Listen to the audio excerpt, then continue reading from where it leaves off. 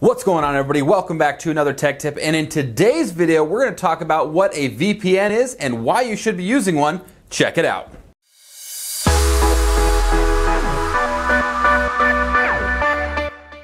In today's video we're going to go over three main parts of what a VPN is and information about VPN. We're going to start with what exactly is a VPN? It stands for a virtual private network. Basically what this is is it's a tunnel for your internet traffic or your data traffic to go through the internet with being encrypted and without prying eyes being able to look at that information or be able to intersect that information. So we're going to kind of go over that. We're going to go over the different types of components and then of course what the benefits are as well for a VPN. To start off, we're going to go over the components. You have three main parts. You have servers, protocols, and then you have encryption. Servers are exactly what they are. The servers are another computer that actually house or store your login information for your computer to be able to connect to that VPN. And then of course you do have your protocols.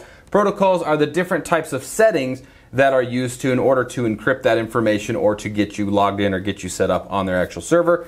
And then of course encryption is the way that it's the term used for them to encrypt your data. So, like I said, prying eyes or people trying to take your information, they can't steal it because it's been encrypted, allowing the sender and the receiver to only see that information. As you can see on this illustration here, I have an image that actually shows you internet traffic with and without a VPN service. Now first we're going to want to understand how your ISP or how your computer connects or talks to the internet without a VPN first in order to understand how this is going to work.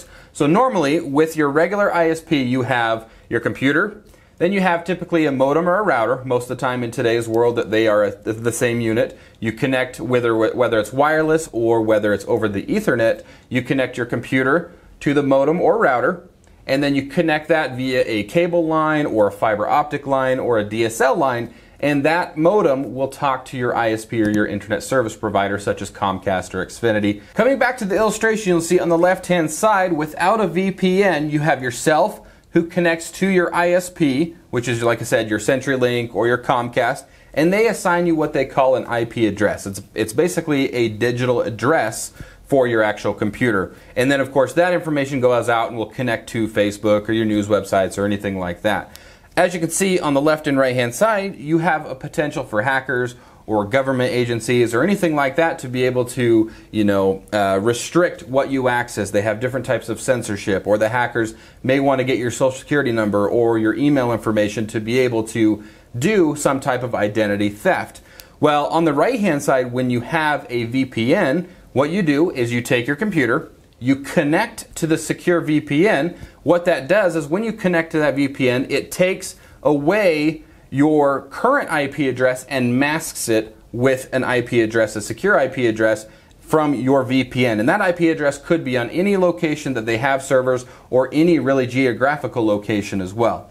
Either way, what that does is it basically creates a secure tunnel. It encrypts the data. When you send information out, it encrypts it. And when you receive information, it encrypts it as well, thus preventing hackers from getting the information or from governments being able to censor any type of in certain regions you know you can't post your opinions you can't post your thoughts or anything like that and that's a type of censorship and a VPN will allow you to do that. I'm going to show you the different types of benefits that a VPN offers and uh, we'll continue on with the topics here. So as you can see on here with the VPN, you can hide your IP address, you can hide your location, you can encrypt your data, and ultimately you can browse and surf the internet anonymously and of course avoiding any type of government censorship or anything like that.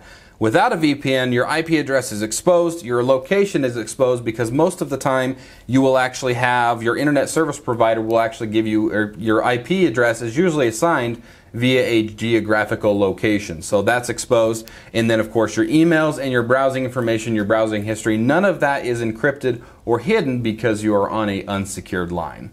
And that's a wrap. Thanks for watching this tech tip. If you loved it, thumbs up, leave any type of comment or feedback in the comment section below the video. Don't forget to hit the subscribe button while you're down there. And just one quick question before you go. If you are using a VPN service, who are you using? Leave that information in the comment section below the video as well. And we will see you next time.